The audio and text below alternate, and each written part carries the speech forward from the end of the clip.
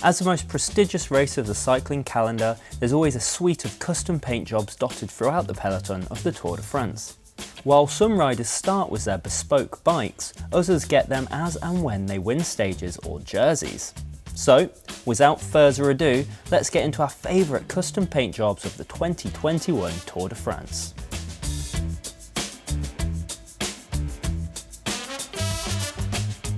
There are a number of riders and teams who can be confident enough of a stint in yellow that a custom bike can be painted and set waiting in the wings. And in this year's Tour de France we've been lucky enough to see two different bikes painted in the Tour de France yellow.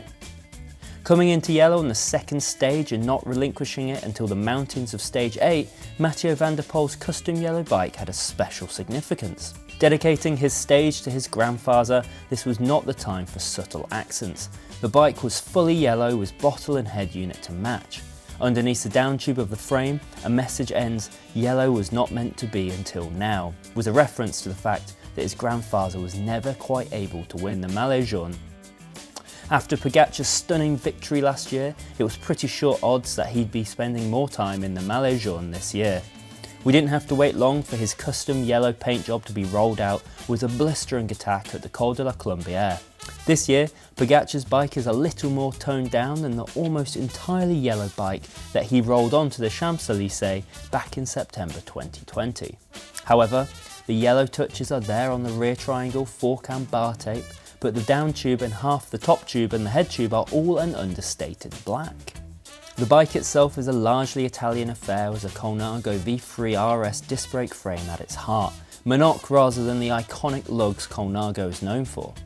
The group set is Campagnolo and it's rolling on Bora wheels shod with Vittoria tyres.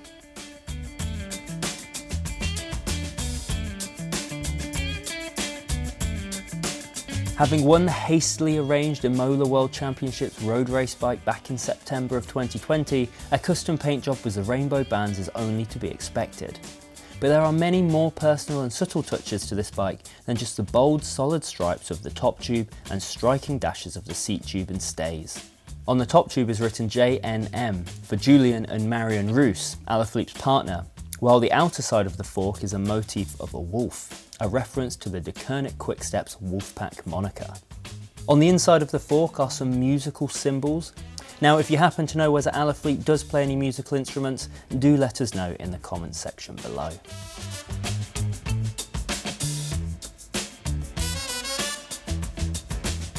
Not unique, but still eye-catching and done especially for the tour, Trek Segafredo are riding on bikes painted with Trek's latest Chroma custom paint options.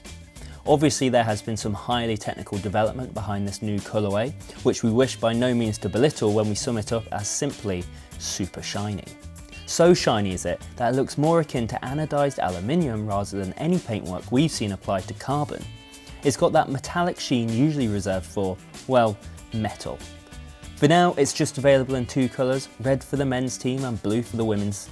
Hopefully more will be brought out in the near future, but for now, if you'd like to buy a bike painted in either of those two colourways, it will set you back a cool $2,000.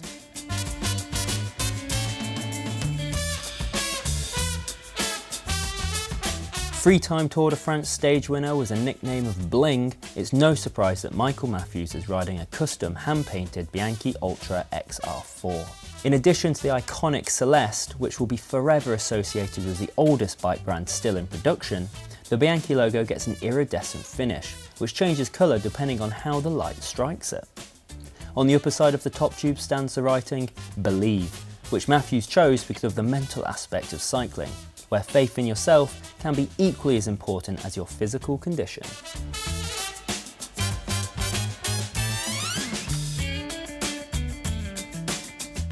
In an understated black, you'd be forgiven for presuming that this was just a standard team colourway. But the actual team bikes come with a white-green fade on the chainstays and forks to match the team colours. Although not quite as flashy as the custom colourways that we've seen the Slovakian ride in recent years, there are still some meaningful details. For example, there's a badge on the seat tube in the inside triangle with his name and his national colours, which is matched by the flag on the rear of the seat post and Slovakia's national arms painted where the chainstays meet. On the top tube is inscribed legendary PS Disruption, which anyone who has followed his career over the past decade couldn't disagree with. So now that the show is over, these are some of the best custom paint jobs that we spotted at the Tour de France. Do you have a particular favourite? Then do let us know in the comments section below. Don't forget to give us a thumbs up and to subscribe to the Cycling Weekly YouTube channel.